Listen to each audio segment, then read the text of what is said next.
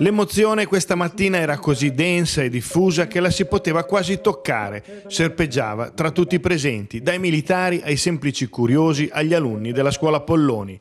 La solennità della cerimonia era enfatizzata dal picchetto d'onore armato del comando del reggimento San Marco, giunto appositamente dalla base di Brindisi con il suo comandante, il contrammiraglio Cesare Petragnani. Al monumento ai caduti del mare al porto di Fano questa mattina si sono vissuti momenti di grande trasporto emotivo per l'inaugurazione del monumento in onore del Marò Filippo Montesi, caduto vittima di un'imboscata a Beirut durante la missione di pace italiana Libano 2 nel 1983. Assieme ai Leoni del San Marco, uno dei corpi d'elite delle nostre forze armate, tuttora impegnato con i suoi battaglioni in diversi scenari operativi internazionali, marinai in congedo dell'ANMI, suoi ex commilitoni che condivisero con lui la missione di pace in Libano e i tragici momenti dell'attentato in cui cadde vittima e naturalmente i familiari di Filippo. Fra tutti, nelle voci rotte dal ricordo, viva era la sensazione come se tutto fosse successo da poco. Tanto era forte la memoria ed il segno che il primo caduto italiano,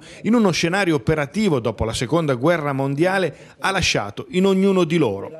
Come anche nello stesso comandante che, visibilmente emozionato, ha raccontato a tutti come lui stesso visse quei tragici momenti. È un momento veramente importante, di una profondità che noi avvertiamo.